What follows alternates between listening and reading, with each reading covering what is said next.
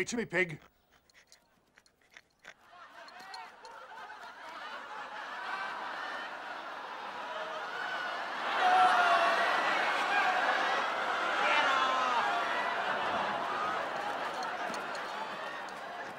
Baram you, Baa-ram-ewe.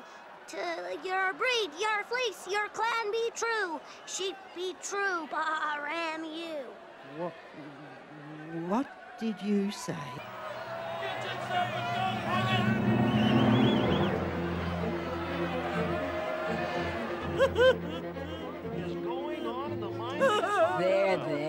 May. It's not the end of the world, you know. Amazing. Is he just going to stand there until his time runs out, I wonder? Yeah. Or could this be some sort of protest? You know, Clive, maybe we should line up an interview with the uh, sheep pig. Or the sheep pig's trainer? He's a very lively sort of fellow by the looks of things. Oh, heavens!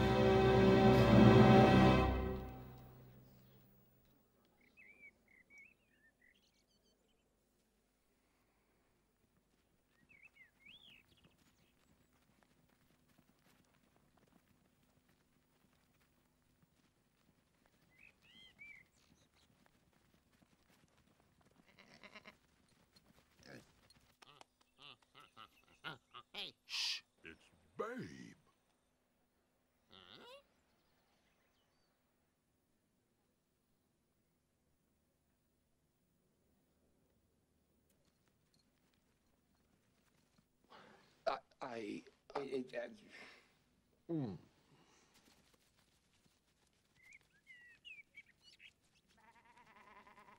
Oh, beautifully done. I can't tell you how grateful I am to y'all. Now, for one last favor. If the three ladies with collars would kindly walk out of the ring, I'd be very much obliged.